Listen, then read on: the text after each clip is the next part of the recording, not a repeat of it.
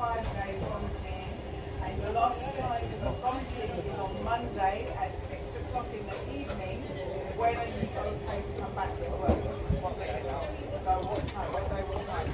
Uh, it's going to be like Monday, 6 o'clock.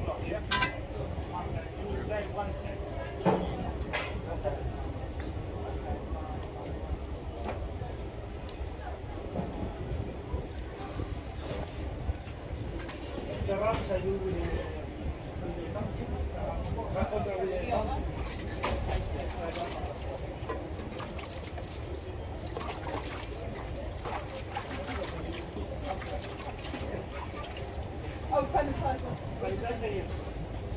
Oh. Basically, make a, pump with the water and this